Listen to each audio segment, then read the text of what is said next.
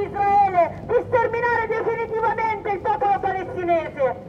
Ma grazie alla resistenza palestinese in questi anni, in questi lunghi anni, abbiamo imparato che essere informazione possiamo essere tutti noi. Non è la normalità uccidere dei bambini che non hanno neanche raggiunto un anno di vita. Non è normale distruggere in guerra tutti gli ospedali. Non è normale chiamare guerra quello che non è guerra.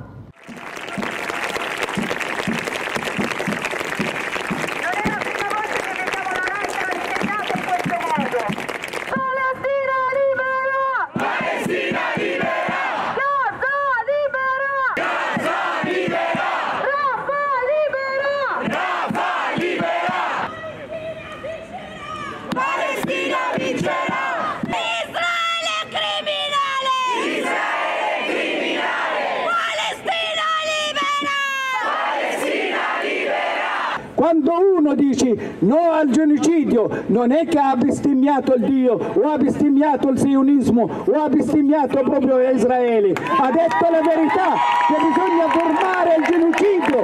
Questo è una- un atto normale di civiltà. Ma la gente che non è ignorante, la gente segue, la gente vede, la gente ascolta. Vogliono vivere, i bambini che vogliono nascere e vogliono crescere in Palestina, nella loro patria. Noi avevamo bisogno di Sanremo per capire che la RAI era la scorta mediatica del genocidio. Non credo proprio.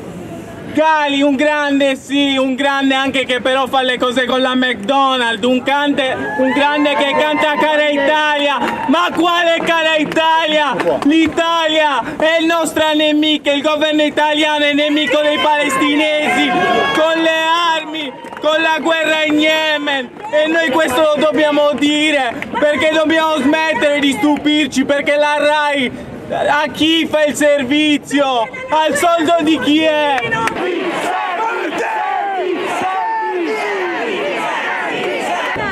Alla RAI non parlano di 11.000 ostaggi palestinesi, sono nelle carceri israeliane.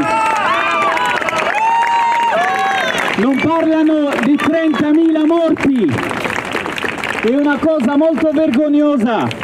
Noi palestinesi siamo anche orgogliosi di essere palestinesi perché noi combattiamo contro il cancro dell'umanità, cioè il sionismo, combattiamo anche la vostra guerra.